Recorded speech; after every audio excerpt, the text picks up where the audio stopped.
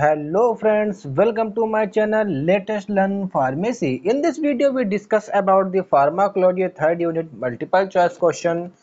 part second तो हमारा जो फार्माकोलॉजी थर्ड यूनिट है पहले उसका नाम जान लेते हैं क्या है pharmacology of the drug acting on the peripheral nervous system जिसमें हमने फर्स्ट पार्ट में जो हमारा organization and the function of the autonomic nervous system and neurohumoral transmission को transmission and classification of the new के बारे में हमने एग्जैक्टली exactly पूरा एमसीक्यू सॉल्व कर लिया था अब उसके बाद हमारा आता है दूसरा चैप्टर जो है क्या है हमारा parasympathomimetic parasympatholytic sympathomimetic sympatholytic and इसी वीडियो में हम कवर करेंगे skeletal muscle relaxant and skeletal muscle relax के साथ साथ हम न्यूरोमस्कुलर ब्लॉकिंग एजेंट भी इसी वीडियो में कवर अप करेंगे तो चूंकि हमारे जो थर्ड यूनिट है उसमें छः चैप्टर है इसलिए हमने दो दो चैप्टर करके सबको डिवाइड कर दिया है तो इसका मतलब ये जो हमारा पूरा थर्ड यूनिट है वो हमारा तीन वीडियो में जाएगा तो ये दूसरा वीडियो है और नेक्स्ट वीडियो आपको जल्दी ही मिल जाएगा तो आइए स्टार्ट करते हैं अपना पहले क्वेश्चन से तो हमारा पहला क्वेश्चन क्या है the neuro responsible for the parasympathomimetic action on the body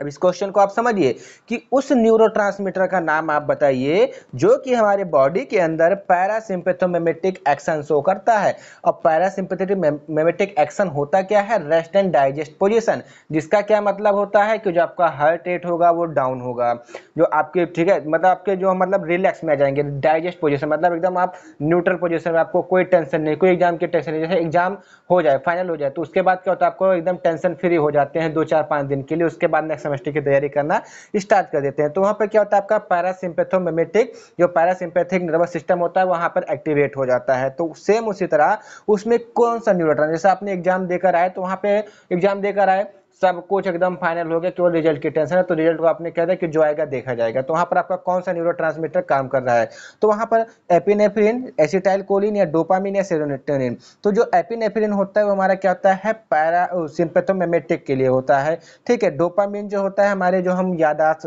हमारी जो मतलब सेरिब्रल कॉर्टेक्स होता है वहाँ पर डोपामिन हमारा होता है जो क्या करता है कि हमारा जो यादाश्त होती है जो मेमोरी होती है उसको कंट्रोल करता है लेकिन जो एसिटाइल कोलिन है वो सिंपेथोमेमेटिक एक्शन आपकी बॉडी के ऊपर शो कराने के लिए ये हमारा न्यूरो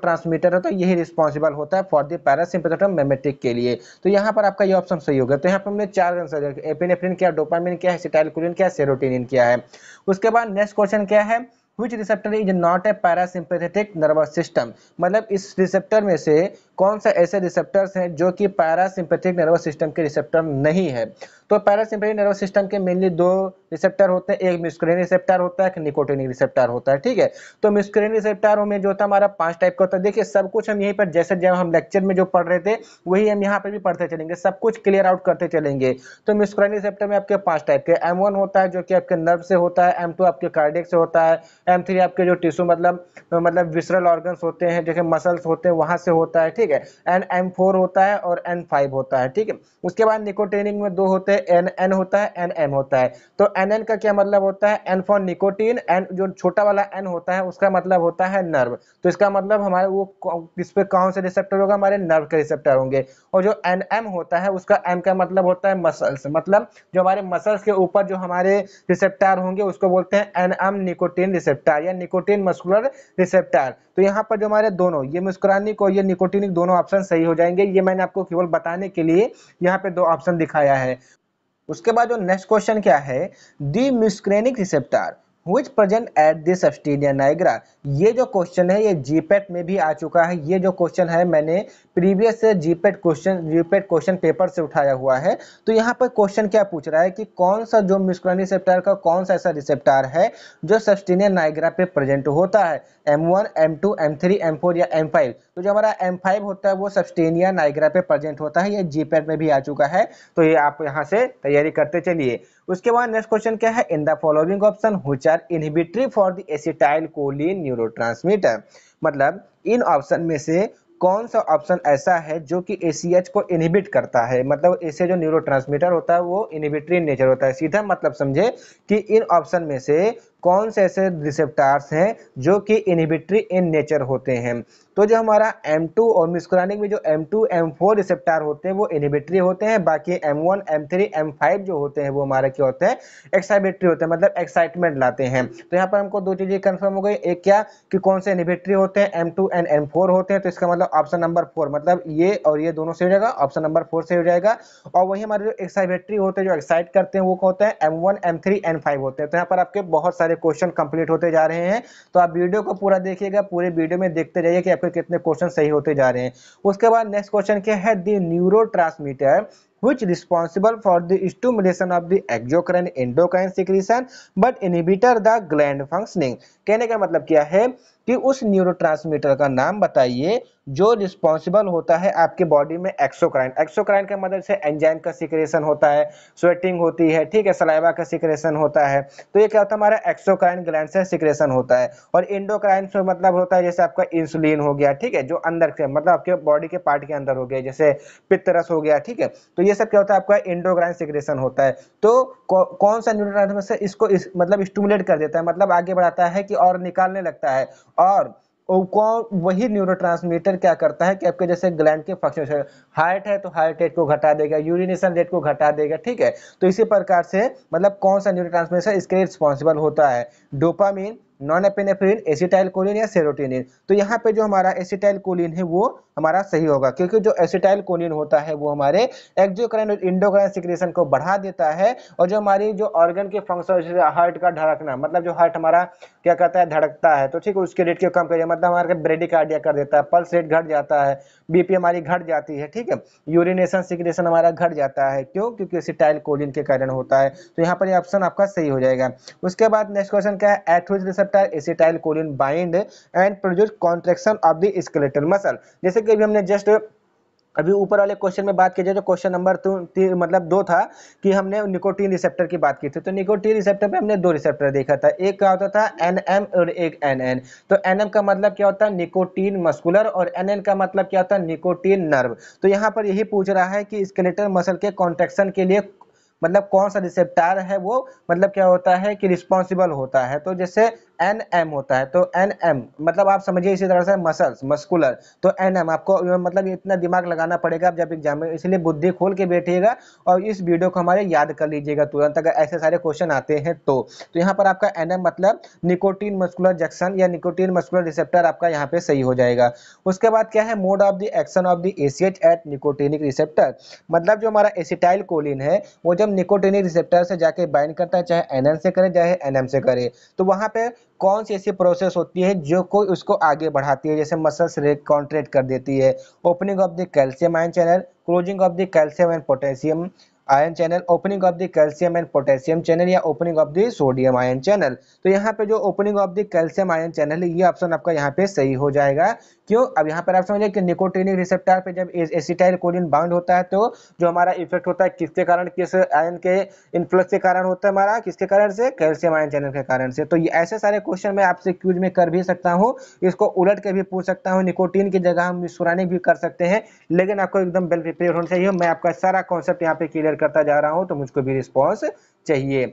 उसके बाद नेक्स्ट क्वेश्चन क्या है the drug which are cholinergic agonist और डायरेक्ट एक्टिंग ड्रग मतलब इस ड्रग में से इन सारे ऑप्शन में से कौन सी ऐसी जो ड्रग का नाम बताइए जो क्या है कोलिनर्जिक एगोनिस्ट है एंड डायरेक्ट एक्टिंग ड्रग भी है या सीधा सीधा बोल दें कि मतलब जो हमारे एसिटाइल कोलिन के सेम है तो एसिटाइल कोलिन तो हमारी सेम होगी पिलोकार्पिन हो गया कार्बाकोल हो गया मेथाकोलिन हो गया तो मेडिसिनल केमिस्ट्री भी पढ़ सकते हैं कि ये सारी जो ड्रग होती है हमारी कौन सी पैरासिम्पेथोमेमेट्रिक ड्रग होती है और ये हमारी क्या है डायरेक्ट एक्टिव ड्रग होती है तो यहाँ पर सारे ऑप्शन आपके सही हो जाएंगे ठीक है पिलोकार्पिन का यूज आप ग्लाउकोमा के यू मतलब ग्लाउकोमा जो हो जाता है हमको अभी हम नेक्स्ट जो हम वीडियो आएगा उसमें पिलोकार्पिन और सारे के यूज हम वहाँ पे देखेंगे तो जो पिलोकार्पिन होता है ग्लाउकोमा के ट्रीटमेंट में यूज किया जाता है उसके बाद नेक्स्ट क्वेश्चन क्या है function of the acid anticholine stage enzyme मतलब जो हमारी एंटीकोलिन स्टेरेज एंजाइम होती है उसका फंक्शन क्या होता है it exceeded the action of the acetylcholine अब देखिए भाई कोई भी एंजाइम होता है तो अगर उस पर एंटी लगा तो इसका मतलब वो दुश्मन हो जाएगा तो दुश्मन का काम क्या होता है उसको इनिबिट करना तो यहाँ पर क्या करें एक्सीडेट करना तो इसका मतलब ये ऑप्शन आपका गलत हो जाएगा उसके बाद क्या है it break the acid into the acetic acid and choline which are non effective तो ये ऑप्शन आपका यहाँ पे सही हो जाएगा कि जो एसिटाइल एंटीकोलिन एंटीकोलिन स्टीरेज एंजाइम है वो क्या करेगा एसिटाइल कोलिन को दो पार्ट में डिवाइड कर देगा या तोड़ देगा एक एसिटिक एसिड में कर देगा एक कोलिन में कर देगा और जब ये टूट जाएगा तो ये कोई काम लायक नहीं रहेगा एकदम नालायक हो जाएगा मतलब बेकाम का हो जाएगा ठीक है उसके बाद ये सारे ऑप्शन आपके गलत है it form aggregation of the ACh receptor मतलब ये क्या करता है कि मतलब रिसेप्टार पे आपके एग्रीगेशन फॉर्म कर जाता है वो कहाँ पर होता है जब आपका माइस्थेना ग्रेविस हो जाता है तो वहाँ पे एग्रीगेशन फॉर्म हो जाता है उस रिसेप्टार पे एसिटाइल कोलिन का जिसकी वजह से जो हमारी इम्यून सिस्टम है वहाँ पे एंटीबॉडीज उसको हटाने के लिए करती है लेकिन वहाँ पर इफेक्ट कुछ उल्टा हो जाता है इफेक्ट ये हो जाता है कि जो हमारे मतलब हमारे जो एंटीबॉडीज है वो उसको मारने तो जाती है लेकिन खुद जाकर बैठ जाती है तो उस कंडीशन में को माइस्थीनिया ग्रेविस हो जाती है अभी नेक्स्ट वीडियो में इस के बारे में डिस्कस करेंगे उसके बाद नेक्स्ट क्वेश्चन क्या है in the following option in option में से the drug are not organophosphorus in the nature मतलब इसमें से कौन सी ऐसी ड्रग है जो ऑर्गेनोफॉस्फेरस ड्रग नहीं है तो यहाँ पर आपका दो क्वेश्चन तैयार हो रहा है एक कि ऑर्गेनोफॉस्फेरस ड्रग के तीन एग्जाम्पल आपको मिल जाएंगे दूसरा क्या है कि नहीं जो नहीं है वो भी मिल जाएंगे ठीक है तो डायजोनियम एमीन हो गया डिफ्लक्स हो गया पैराथियन हो गया ये क्या होता है ऑर्गेनोफॉस्फोरस ड्रग होती है क्योंकि इसमें जो फॉस्फोरस कंटेन हो गया होता है लेकिन जो डोमी पेंजिल होते हैं वो डायरेक्ट एक्टिंग ड्रग होती है ना कि ऑर्गेनोफॉस्फोरस ड्रग होती है तो यहाँ पर ये ऑप्शन आपका सही हो जाएगा उसके बाद जो नेक्स्ट क्वेश्चन क्या है why acetylcholine so pharmacological action अब भाई देखिए ये सारे क्वेश्चन आपसे पूछे जा सकते हैं कि जो एसिटाइल कोलिन होता है वो अपना फार्माकोलॉजिकल एक्शन क्यों शो करता है ये आपसे मेडिसिनल केमिस्ट्री में भी पूछा जा सकता है आपसे इसमें भी पूछा जा सकता है मतलब फार्माकोलॉजी में भी पूछा जा सकता है क्योंकि दोनों का सिलेबस सेम आता है तो due to the presence of the ester of the choline या due to the presence of the acetic acid या due to the presence of the trimethyl ammonium group या आल ऑफ द एबव तो देखिए acetyl choline में जो हमारा tertiary amine लगा होता है एमाइन ग्रुप लगा होता है उसी की वजह से वो जो उसका फार्माकोलॉजिकल एक्शन होता है आपकी बॉडी पे शो होता है ना कि acid ester of the choline या एसिटिक एसिड अगर वहां पे आप ट्राइमेथाइल एमोनियम मतलब टर्जरी एमाइन को आप किसी माध्यम से रिडक्ट कर देंगे मतलब सब्सटीट्यूट करके बाहर निकाल देंगे तो ये चाहे उसमें कितना भी ईस्टर हो कोलिन हो कितना भी हो एस्टिक एसिड हो कोई फर्क नहीं पड़ेगा वो फार्माकोलॉजिकल इनएक्टिव हो जाएगा ठीक है तो यहाँ पर जो आपका थर्ड ऑप्शन है वो आपका सही हो जाएगा due to the presence of trimethyl ammonium group क्योंकि यहाँ पर जो ट्रजरी अमोनिया ग्रुप होता है उसके प्रजेंस के कारण एसिटाइल कोलिन अपना फार्माकोलॉजिकल एक्शन शो करता है उसके बाद जो नेक्स्ट क्वेश्चन क्या है what happen when dose of the acetyl choline is more than 50 microgram with low BP कहने का मतलब क्या है कि जैसे आपको लो बीपी है ठीक है तो आप क्या करें कि नॉर्मल जो डोज होती है एसिटाइल कोलिन की टू माइक्रोग्राम होती है तो अगर आपसे ऐसा क्वेश्चन पूछा जाए कि what is the normal dose of the acetylcholine is तो आपको क्या ऑप्शन लगाना है टू माइक्रोग्राम लेकिन अगर उसी को हम क्या कर दें उस डोज को बढ़ा दें उस डोज को दो की जगह हम फिफ्टी कर दें फिफ्टी माइक्रोग्राम कर दें तो आपको क्या हो जाएगा लो बीपी के साथ साथ क्या हो जाएगा आपकी जो पल्स रेट होगी वो घटने लगी क्योंकि इसका मतलब क्या जाएगा ब्रेडी कार्डिया हो जाएगा तो ये ऑप्शन आपका सही हो जाएगा और ट्रेकी कार्डिया ट्रेकी कार्डिया का मतलब क्या होता है कि जो आपकी पल्स रेट होती है वो बढ़ जाती है और ब्रेडी कार्डिया का मतलब क्या होता है कि जो आपकी पल्स रेट होती है वो घट जाती है हाइपोटेंशन में क्या होता है आपकी बीपी लो हो जाती है हाइपरटेंशन में आपकी बीपी हाई हो जाती है उसके बाद नेक्स्ट क्वेश्चन क्या है how carbachol different from the acetylcholine मतलब जो कार्बाकोल होता है वो एसिटाइल कोलिन से किस प्रकार से डिफरेंट है मतलब अलग पाया जाता है तो carbachol in are made up of racemic mixture या resistance to hydrolysis by cholinesterase हुए कंपेयर टू एसीएच ये ऑप्शन आपका बिल्कुल सही है कि जो हमारा एसिटाइल कोलिन है वो कोलिन स्टेज एंजाइम की सहायता से क्या कहा जाए आपस में टूट जाता है लेकिन जो हमारा कार्बाकोल होता है उस वो हमारे कहता है हाइड्रोलिसिस के रेजिस्टेंस होता है तो ये ऑप्शन आपका सही हो जाएगा उसके बाद नेक्स्ट क्वेश्चन क्या है name of the drug that neither metabolite by pseudocholinesterase enzyme उस ड्रग का नाम बताइए जो कि सीडोक्यूलिन स्टेज एंजाइम के द्वारा मेटाबोलाइज नहीं होती है तो बाकी जितने भी ड्रग एसिटाइल कोलिन है कार्बाकोल है बेंथाकोल है या मेथाकोलिन है ये सब क्या है सीडो कोलिन स्टेज एंजाइम से मेटाबोलाइज हो जाती है लेकिन जो पिलोकार्पिन ड्रग है वो आपके क्या होती है होती है मेटाबोलाइज नहीं होती है इसीलिए इसको पिलोकार्पिन में यूज किया जाता है उसकी जो हाफ लाइफ होती है वो बहुत ज़्यादा होती है ठीक है उस एलिमिनेशन काइनेटिक्स में आपने पढ़ा होगा कि हाफ लाइफ किसके कहते हैं उसके बाद जो नेक्स्ट क्वेश्चन क्या है which of the following secretion is not stimulated by the acetylcholine मतलब यहाँ पर आपको चार ऑप्शन दिए गए हैं इसमें से आपको ये बताना है कि मतलब एसिटाइल कोलिन के द्वारा किसका सिक्रेशन स्टिमुलेट नहीं किया जा सकता है देखिए एसिटाइल कोलिन क्यों होता है पैरासिम्पेटेटिक होता है जब पैरासिम्पेटेटिक क्या होता है तो आपके जो एक्जोक्राइन इंडोक्राइन हो सिस्टम होते हैं वो स्टिमुलेट हो जाते हैं इसका मतलब क्या है आपके सलाइबा के सिक्रेशन टीयर मतलब आंसू का सिक्रेशन हो जाएगा ठीक है तो ये सब बढ़ जाएगा ठीक है लेकिन जो यहाँ पर बाइल है तो बाइल क्या है आपका ना इंडोक्राइन सिस्टम से होता है ना एक्जोक्राइन सिस्टम से होता है आपके कहाँ से होता है वो आपका जीआईटी ट्रैक से स्क्रिट होता है वो फिकल मटेरियल को बाहर निकालने के लिए तो यहाँ पे जो बाइल ऑप्शन है ये आपका ऑप्शन यहाँ पे सही हो जाएगा क्योंकि इसका जो सिक्रेशन होता है वो एसिटाइल कोलिन के माध्यम से नहीं होता है और स्वेटिंग होती है पेंक्रियाटिक जूस निकलता है टीयर जैसे पेंक्रियाटिक जूस आपका क्या है इंडोक्राइन मतलब इंडोक्राइन जो आपका होता है मतलब केमिकल कंपाउंड होता है वो है टीयर्स और स्वेटिंग आपका क्या है एक्जोक्राइन है उसके बाद नेक्स्ट क्वेश्चन क्या है in the following option of the drug in following drug which are water soluble drug मतलब कौन सी जो ड्रग है वो वाटर सोल्यूबल है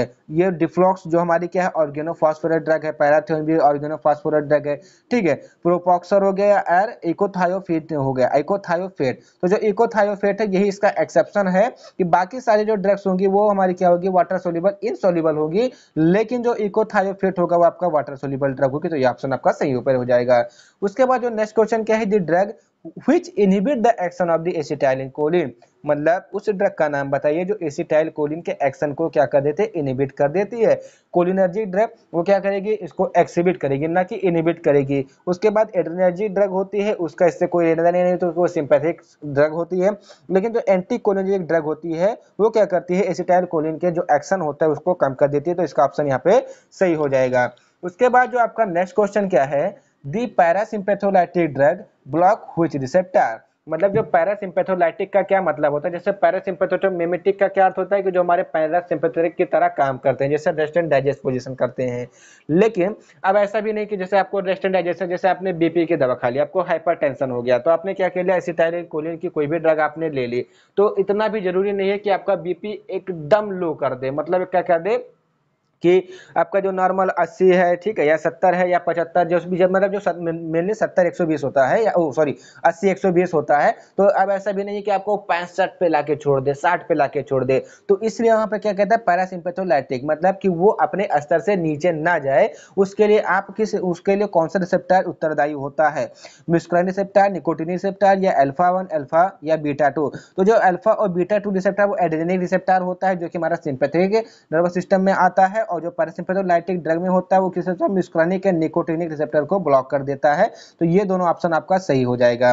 उसके बाद नेक्स्ट क्वेश्चन क्या है atropine is the type of the drug मतलब जो एट्रोपिन है वो क्या करती है कि आपके आंखों में जो डायलेट कर देती है मतलब जो से आपको आंखें मतलब जब आपकी आंखों में बीमारी हो जाती है जैसे माइड्रेसिस हो जाता है तो उसमें क्या होता है आप जो आपकी आंखें हमेशा कॉन्टेक्ट रहती है तो उसको डायलेट करने के लिए एट्रोपिन का यूज किया जाता है और एट्रोपिन का यूज मैंने एक जगह और बताया आपको फार्माकोग्नोसी में फर्स्ट लेक्चर दिया था मैंने आपको तो एट्रोपिन का यूज बताया था कि जो बॉम्ब डिफ्यूजर होते हैं जो बॉम्ब को डिफ्यूज करते हैं बॉम्ब डिफ्यूज करने जाने से पहले क्या करते हैं अपने आंखों में एट्रोपिन एट्रोपिन इनका डायलोन सोल्यूशन डाल देते हैं जिसका काम क्या होता है कि उनके आंखें जो होती है वो डायलेट रहती है और आसानी से वो देख सकते हैं तो जो एट्रोपिन का काम क्या होता है कि आपके आंखों को डायलेट कर लेना अब बात आती है कि जो एट्रोपिन होती है वो किस टाइप की ड्रग होती है वो मिस्कुरानिक एंटागोनिस्ट होती है गेंगलोनिक ब्लॉकर होती है एनएमजे ब्लॉकर होती है एल ऑफ दी एबो तो जो एट्रोपिन का नेचर होता है वो कहता है मुस्कुरानिक एंटागोनिस्ट के तौर पर यूज की जाती है ठीक है तो ये ऑप्शन आपका सही हो जाएगा उसके बाद नेक्स्ट क्वेश्चन क्या है low level of the atropine dose effect on the CNS मतलब जब आप एट्रोपिन के लो लेवल के डोज लेते हैं तो उसका सीएनएस पे क्या इफेक्ट पड़ता है stimulate higher cerebral interest bradycardia increase the rate of the respiration and all of the above तो देखिए increase the rate of the respiration मतलब क्या करता है ऑट्रोपिन क्या करता है डायलेट कर देता है जब डायलेट कर देगा तो आपकी जो रेस्पायरेशन होगी वो बढ़ जाएगी ठीक है ब्रेडिकार्डिया कर देगा स्टूमुलेट हाइयर सेरेब्रल इंटरेस्ट कर देगा तो ऑल ऑफ दी एबव तो यहाँ पर आपका ऑल ऑफ दी एबव सही हो जाएगा ठीक है उसके बाद जो नेक्स्ट क्वेश्चन क्या है दी ड्रग्स या the blockers whose N N N N M receptor मतलब जो एन एन रिसेप्टार और एन एम रिसेप्टार होते हैं वो किस टाइप के रिसेप्टार होते हैं मिस्क्रानिक होते हैं गेंगलोनिक ब्लॉकर होते हैं नन ऑफ दी एबव या अल ऑफ दी एबव तो ये दोनों टाइप के ब्लॉकर्स होते हैं तो यहाँ पर ऑप्शन आपका सही हो जाएगा उसके बाद जो नेक्स्ट क्वेश्चन क्या है the drug nicotine are in nature मतलब जो निकोटीन का नेचर होता है क्या होता है हाईली लिपिड सोल्यूबल सही बात है क्योंकि जो निकोटीन होता है वो हमारे फंगस से लिया जाता है तो इसका मतलब क्या है कि मतलब ये हमारा लिपिड सोल्यूबल होता है उसके बाद क्या है can cross blood brain barrier placental barrier तो सही बात है अगर वो लिपिड सोल्यूबल होगी तो बी बी बी को भी क्रॉस कर जाएगी प्लेसेंटल बेरियर को भी क्रॉस कर जाएगी इट इज मेटाबोलाइट थ्रॉ देगी ग्लूकोरोनाइड कॉन्जुगेशन ये भी सही है हाफ लाइफ इसके के अंदर दो घंटे होती है ये भी सही है अलाब अलाबदेव तो यहाँ पर आपका ऑप्शन अलाब अलाबदेव तो इन सब में से कोई भी ऑप्शन अगर ऑप्शन आपसे एग्जाम में पूछा जा सकता है तो यहाँ पर आप उसके उसके ऊपर टिक लगाएंगे उसके बाद जो नेक्स्ट क्वेश्चन क्या है the neuro of the adrenergic neuro मतलब कहने का क्या है कि जो एडेनर्जिक मतलब एडजेनिक कहाँ पर आ गया अब हम आ गए सिंपैथिक नर्वस सिस्टम पर आ गए तो सिंपैथिक नर्वस सिस्टम का मेन न्यूरो कौन सा होता है एडजेनिक न्यूरो होता है तो इन न्यूरो में से कौन सा न्यूरो है जो एडजेनिक एडेनर्जिक न्यूरो है non epinephrine epinephrine dopamine isoprenaline या अलाब्दी एबव तो यहाँ पे जो मतलब ये सारे जो हमारे हैं नॉन एपिनेफ्रिन हो गया एपिनेफ्रिन हो गया डोपामिन हो गया ये तो आपके क्या हो गया कि बॉडी के अंदर आपके क्या नेचुरल बनते हैं लेकिन जो आइसोप्रेनिलिन है ये क्या है सिंथेटिक है तो मतलब सिंथेटिक है लेकिन एडेनिक न्यूरो है तो इसकी ये हमारा एडेनिक न्यूरो में ही इसकी गिनती होगी तो यहाँ पर अलाब्दी एबव ऑप्शन सही हो जाएगा उसके बाद जो नेक्स्ट क्वेश्चन क्या है the neuro transmission who decrease the endocrine and exocrine secretion while increase the body organ function activity देखिए अब सेम उसका उल्टा क्वेश्चन आ गया जैसे मैंने आपको पहले में बताया था कि उस वो ट्रांसमीटर को मतलब न्यूरो वो कौन सा न्यूरो है जो क्या करता है इंडोक्राइन एक्जोक्राइन की सिक्रेशन को कम कर देता है और बॉडी ऑर्गन के फंक्शन को एक्टिविटी को बढ़ा देता है यहाँ ठीक है घटा देता है तो वहाँ पर जैसे यहाँ पर उल्टा हो गया कि एक्जोक्राइन इंडोक्राइन मतलब इंडोक्राइन जैसे आपका इंसुलिन का सिक्रेशन को क्या कर देगा वो कम कर देगा स्वेटिंग कम कर देगा लेकिन क्या करेगा आपके बॉडी फंक्शनल को बढ़ा देगा जैसे हार्ट रेट आपकी बढ़ा देगा ठीक है तो जो भी आपके मतलब जैसे यूरिनेशन जो होगा या डायरेटिक्स टाइप का हो जाएगा आपको मतलब आपकी यूरिनेशन बहुत फ्रिक्वेंटली होने लगेगी तो उस न्यूरो का क्या नाम है कोलिन डोपामिन अलादे में तो क्या कोटाकोलामिन तो जो कैटाकोलामिन उसके अंदर ही नॉन एपिनेफिन एपिनेफिन आ जाती है तो ये ऑप्शन आपका सही हो जाएगा और यहाँ पर अगर कैटाकोलिन मीन्स की जगह आपको एपिनेफिन उसके बाद जो हमारा नेक्स्ट क्वेश्चन क्या है the receptor at which catecholamines are bind up and so action of the body मतलब कैटाकोलामाइंस होता है अगर यहाँ पे कैटाकोलामाइंस की जगह आपका एपिनेफ्रिन नॉन एपिनेफ्रिन एड्रेनिल या नॉन एड्रेनिल भी बोल दे तो आप भी यहाँ पे कैटाकोलामाइंस ही मानिएगा are bind up and so action on the मतलब किस रिसेप्टर से बाइंड अप होता है देन अपना एक्शन शो करता है तो निकोटिन रिसेप्टर मिस्कोन रिसेप्टर जो होते हैं वो आपके किसके लिए होते हैं एसिटाइल कोलिन के लिए होते हैं लेकिन जो एडिनरी रिसेप्टर होते हैं एडिनर्जी रिसेप्टर होते हैं वो आपके कैटाकोलामाइंस के लिए होते हैं तो यहाँ पर आपका कैटाकोलम मतलब मतलब एड्रेनजेनिक रिसेप्टर आपका सही हो जाएगा उसके बाद क्या है nature of the adrenergic receptor मतलब जो एड्रेनजेनिक रिसेप्टर है उसका नेचर क्या होता है ligand gated ion channel receptor होते हैं कैनेज लिंक होते हैं जैक स्टेट होते हैं या जी प्रोटीन कपल रिसेप्टर होते हैं या फाइव एस रिसेप्टर या मेट्रोट्रॉपिक रिसेप्टार भी होते हैं तो यहाँ पर जो जी प्रोटीन कपल रिसेप्टर है ये ऑप्शन ऑप्शन सही हो जाएगा अगर जी प्रोटीन कपल रिसेप्टर की जगह आपको फाइव एस रिसेप्टर भी बोल दे या मेट्रोट्रॉपिक रिसेप्टर भी बोल दे तो वहाँ पर आपको ऑप्शन वही चुनना होगा क्योंकि इन तीनों का एक ही सिनोनिम हो जाएगा उसके बाद जो नेक्स्ट क्वेश्चन क्या है in the following option of the receptor decrease the insulin level मतलब इस ऑप्शन में से मतलब अल्फा बीटा गामा जो वन टू थ्री है इन रिसेप्टर में से कौन सा ऐसा रिसेप्टर है जो कि रिस्पॉन्सिबल होता है इंसुलिन की सिक्रेशन या उसके इंसुलिन के लेवल को डिक्रीज करने के लिए अल्फा वन अल्फा टू या बीटा वन बीटा टू या बीटा थ्री तो जो बीटा टू होता है वो क्या होता है इंसुलिन के सिक्रेशन के लिए इंसुलिन के लेवल को कम कर देता है तो यहाँ पर आपका ऑप्शन ये सही हो जाएगा उसके बाद जो नेक्स्ट क्वेश्चन क्या है इन द फॉलोइंग ऑप्शन हुई चार sympathomimetic drug but are not catecholamine defence in nature अब देखिए यहाँ पर एक्सेप्शन के तौर पे भी मान सकता है कि आपसे एक्सेप्शन भी पूछ सकता है कि in the following option the drug जो क्या है कि सिंपेथोमेट्रिक ड्रग तो है लेकिन वो क्या है कैटाकोलामाइंस इन नेचर नहीं है मतलब जो उसका न्यूरोट्रांसमीटर होता है एड्रेनेल नॉन एड्रेनेल उस पर उसका कोई इफेक्ट नहीं है तो ऐसा क्यों है एक्सेप्शन है तो इसमें क्या हो जाएगा मेथॉक्सिकाइम हो जाएगा या फिनाइल एफिनिडिफिन हो जाएगा टायरामिन हो जाएगा एम्फिटामाइन हो जाएगा तो जो फिनाइल एपिनेफिन है वो आपका क्या हो जाएगा वो आपके सिंपथोमेमेटिक ड्रग तो है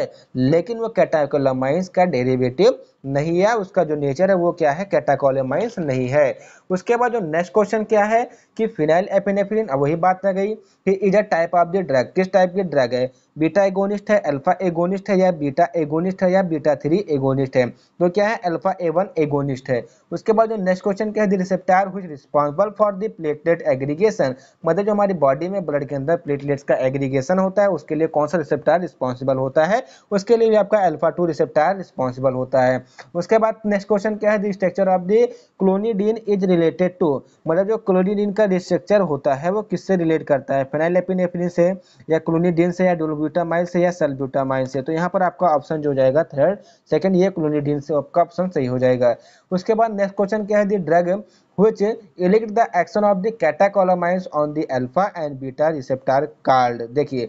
उस ड्रग का नाम बताइए जो कि जो अल्फा एंड बीटा रिसेप्टर पे कैटाकोलामाइंस के एक्शन के द्वारा स्टिमुलेट हो जाते हैं तो उसको क्या कहते हैं आप सिंपैथोलाइटिक पैरासिम्पैथोमेमेटिक या पैरासिम्पैथोलाइटिक या सिंपैथोलाइटिक तो यहाँ पर एक चीज़ आप ध्यान से सुनिए इलिक्ट लिखा हुआ है इलिक्ट की मतलब यहाँ पर आपका कहते हैं इनहिबिट भी कर सकते हैं तो the drug which inhibit the action of the catecholamines on the alpha and beta receptor उस ड्रग का नाम बताइए जो कि कैटाकोलामाइंस के एक्शन को अल्फा एंड बीटा रिसेप्टर पे कम कर देती है इनहिबिट कर देती है उस उसको क्या तो आप कहेंगे पैरासिम्पेथोमिमेटिक या सिंपेथोलाइटिक या सिंपेथोमिमेटिक या पैरासिम्पेथोलाइटिक दूसरा बोलते हैं सिंपेथोलाइटिक क्योंकि कैटाकोलामाइन जो क्या है सिंपेथिक नर्वस सिस्टम से रिलेट करता है और लाइटिक का मतलब क्या होता है उसका उल्टा और मिमेटिक का क्या मतलब होता है उसका सेम इजेट तो यहाँ पे क्या करें उसके एक्शन को इनिबिट कर रहे हैं तो इसका मतलब यहाँ पर ऑप्शन सिंपेथोलाइटिक सही हो जाएगा उसके बाद जो नेक्स्ट क्वेश्चन क्या है नॉन सेलेक्टिव एंटागोनिस्टार मतलब इन ऑप्शन में से कौन से नॉन सेलेक्टिव एंटागोनिस्ट है तो नॉन सेलेक्टिव एंटागोनिस्ट जो होते हैं alpha one and beta one दोनों होते हैं तो यहाँ पर आपके फोर्थ ऑप्शन सही हो जाएगा उसके बाद नेक्स्ट क्वेश्चन क्या है the drug which help in the reduce the muscle tone of the paralysis देखिए अब हम कहाँ पर आ गए स्केलेटल मसल रिलेक्शन ड्रग पर आ गए तो उस ड्रग का नाम बताइए जो क्या करता है कि जबकि मसल्स में टोन हो जाता है टोन का मतलब क्या होता है नसल आपकी क्या होती है ढीले पड़ जाती है जिसके वजह से आपको पैरालाइसिस हो जाता है तो क्या करते हैं कौन सी ड्रग उसको रिड्यूज कर देती है तो स्केलेटल मसल्स रिलेक्जेंट या स्केलेटल मसल डायलेंट या स्केलेटल ऑस्टोरिलेजेंट या लॉब दी अब तो यहाँ पर जो स्केलेटल मसल रिलेक्जेंट है वो आपका ऑप्शन सही हो जाए जाएगा क्या अच्छा, अच्छा, है which statement is true for the skeletal muscle relaxant मतलब ये जो स्टेटमेंट दिए गए हैं तीन स्टेटमेंट दिए गए हैं इनमें से कौन सा जो स्टेटमेंट है वो स्केलेटल मजल मसल रिलेक्शन से सही जमाना जाता है primarily use in the conjunction with the general anaesthesia to provide muscle relaxation for the surgery अब यहाँ पे क्या मतलब कहने का क्या कहने है कि मतलब आप सर्जरी करते हैं तो एनेस्थीसिया देते हैं एनेस्थीसिया को देने से पहले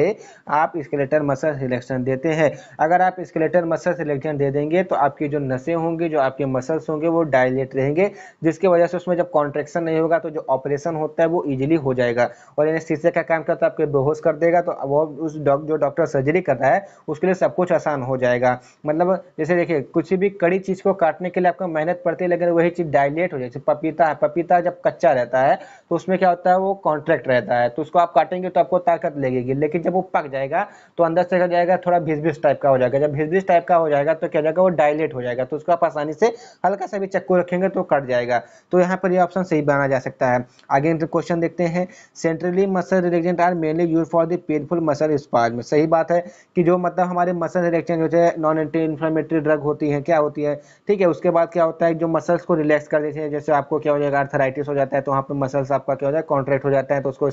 रिलैक्स भी किया जाता है तो ये भी ऑप्शन सही है they block the neurohumoral transmission ये न्यूरोह्यूमरल ट्रांसमिशन को ब्लॉक कर देती है सही बात है क्योंकि अगर न्यूरोह्यूमरल ट्रांसमिशन को ब्लॉक नहीं करेंगे तो मसल्स को डायलेट कैसे करेंगे अगर न्यूरोह्यूमरल ट्रांसमिशन ब्लॉक नहीं होगा तो उसमें कॉन्ट्रिक्शन डायलेशन दोनों होता रहेगा लेकिन हमको डायलेशन चाहिए तो यहाँ पर अलाब दी अब आपका ऑप्शन सही हो जाएगा उसके बाद जो नेक्स्ट क्वेश्चन क्या है the agent generally act by generally act by preventing the binding of the Asia to its receptor उस एजेंट का नाम बताइए कि जो क्या करता है प्रिवेंट करता है कि एसिटाइल कोलिन अपने रिसेप्टर से जाके बाइंड ना हो सके polarizing blocking agent depolarizing blocking agent depolarizing acting या अलाब्दी एबव तो यहाँ पे जो आपका डीपोलाइजिंग एजेंट हो जाए वो क्या करता है कि ए को जब ए अपने रिसेप्टर से बाइंड करेगा तो वहाँ पे क्या हो जाएगा आपका कॉन्ट्रेक्शन होना स्टार्ट हो जाएगा तो कॉन्ट्रेक्शन को रोकने के लिए क्या होगा कि एसीटाइल कोलिन को उसके रिसेप्टर से बाइंड होने के लिए रोकना पड़ेगा तो उस ड्रग का या उस एजेंट का क्या नाम होता है तो उसका होता है डीपोलराइजिंग एजेंट होते हैं जो क्या करते हैं सोडियम आयन चैनल को बंद कर देते हैं उसके बाद क्या है एट्रोच रिसेप्टर मतलब किस रिसेप्टर पे the interesting activity of non depolarizing agent is low और द जीरो मतलब किस रिसेप्टर पे जो हमारे नॉन डिपोलाइजिंग एजेंट होते हैं उसकी जो इंटरेस्टिंग एक्टिविटी होती है मतलब जो फार्माकोलॉजिकल एक्शन तो शो करता है लेकिन उसकी इंटरेस्टिंग एक्टिविटी होती है कुछ वो कम हो जाती है जीरो हो जाती है तो किस रिसेप्टर पे एन वन एंड एनपुट जो M one M two receptor दोनों पे उसकी इंटरेस्टिंग एक्टिविटी कम हो जाती है लेकिन जो फार्माकोलॉजिकल एक्शन होता है वो हाइयर ही रहता है उसके बाद जो नेक्स्ट क्वेश्चन क्या है the drug use to block ganglionic nerve उस ड्रग का नाम बताइए जो कि गैंग्लियोनिक नर्व को ब्लॉक करने का काम करता है जिसकी वजह से जो ट्रांसमिशन होता है वो कंप्लीट नहीं हो पाता है जैसे तो इसमें आ जाएगा डॉक्साक्यूरिमिन हो जाएगा या डी ट्यूबोक्रिमिनिन हो जाएगा तो ये ऑप्शन आपका सही पर हो जाएगा उसके बाद नेक्स्ट क्वेश्चन क्या है what are the effect of the histamine मतलब हिस्टामिन का आपकी बॉडी पर क्या इफेक्ट होता है तो हाइपोटेंशन ब्रोंकोस्पास में इनकी सलाइवरी सिक्रेशन अलाब्दी एबक तो यहाँ पर सारे का सारा क्या होता है हिस्टामिन इफेक्ट करते हैं तो यहाँ पर ऑप्शन आपका सही हो जाएगा उसके बाद जो नेक्स्ट क्वेश्चन क्या आता है कि general mechanism of depolarizing agent on the N N choline receptor मतलब कहने का क्या है एन एम का मतलब निकोटीन मस्कुलर जंक्शन जो होता है निकोटीन मस्कुलर रिसेप्टर होता है ठीक है वहाँ पर जो डीपोलाइजिंग एजेंट होता है उसका क्या मतलब कैसे अपना इफेक्ट करता है opening closing of the sodium channel या opening of the potassium channel opening of the sodium channel closing of the potassium channel तो जो हम ओपन कर देता है मतलब जो सोडियम चैनल होता है उसको ओपन कर देता है उसके बाद नेक्स्ट क्वेश्चन क्या है विच फेज आर हैव या which phase have ability to rapid action of the nicotine receptor phase first या फेज second तो इसके बारे में आपको डिटेल से पढ़ना पड़ेगा इसमें होता है फेज फर्स्ट में क्या होता है रैपिड एक्शन होता है फेज सेकंड में क्या होता है स्लो एक्शन होता है तो यहाँ पर फेज फर्स्ट आपका ऑप्शन सही हो जाएगा और नेक्स्ट क्वेश्चन क्या है on repeated administration of the neuromuscular blocking agent अगर आप लगातार न्यूरोमस्कुलर ब्लॉकिंग एजेंट एडमिनिस्टर कर रहे हैं what will be the effect of this एवियर तो आपके जो कार्डियक पे होता है जो हार्ट पे क्या इफेक्ट पड़ेगा initial It caused bradycardia, secondary cause trachycardia and hypertension both. मतलब सही दोनों सारे कुछ कॉज करते हैं बेडिकार्ड या ट्रेकिकार्ड या हाइपर टेंशन हाइपोटेंशन सब कुछ कॉज कर सकता है तो आपका ऑप्शन भी अब यहाँ पे सही हो जाएगा तो आई होप आपको वीडियो समझ में आएगा तैयार रहिएगा नेक्स्ट वीडियो के लिए जिसमें हम बात करेंगे अपने नेक्स्ट टॉपिक के जो क्या होगा लोकल एनेस्थेटिक हो जाएगा और drug use in the glaucoma and the myasthenia gravis तो आई होप आपको ये वीडियो तो समझ में आया होगा क्योंकि मैंने इसमें कहीं भी ऐसी कुछ चीज़ ऐसे नहीं छोड़ी है कि जो आपको एक्सप्लेन ना किया हो अगर आपको समझ में आया तो वीडियो को लाइक कीजिए चैनल को सब्सक्राइब कीजिए एंड कमेंट करके हमको बता दीजिएगा कि आपको वीडियो कैसा लगा thank you for watching the video from the latest learn pharmacy